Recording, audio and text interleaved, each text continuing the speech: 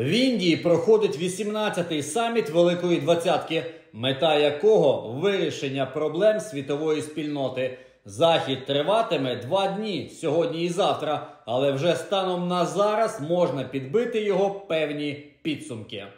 По-перше, на саміт не приїхав Путін. Мабуть, бункерний дід боїться покидати свою берлогу, щоб не бути осоромленим перед світовою спільнотою. Надули. Просто нагло обманули. Тим не менше, на саміті а вже ж говорили про війну, яку розв'язала Росія. Спільна декларація, яку погодили учасники, водночас не засуджує дії Росії, і це повний абсурд.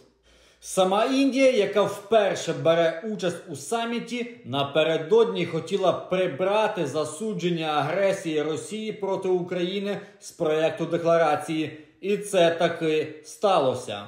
Держави Заходу водночас виступали за більш рішучий осуд Росії, тоді як країни глобального півдня хочуть більшого фокусу на економічних питаннях. До речі, Індія вже зовсім скоро буде називатися Бхарат.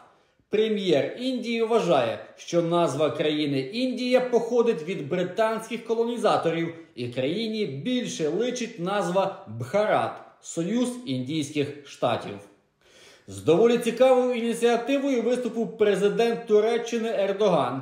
Він буцімто закликав G20 піти на компроміс з Росією щодо зернової угоди, піти на вимоги Путіна.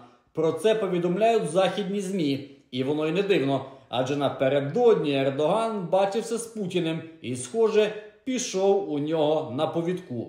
Конечно, не обойдем, не обойдем э, вниманием вопросы, связанные с э, украинским кризисом.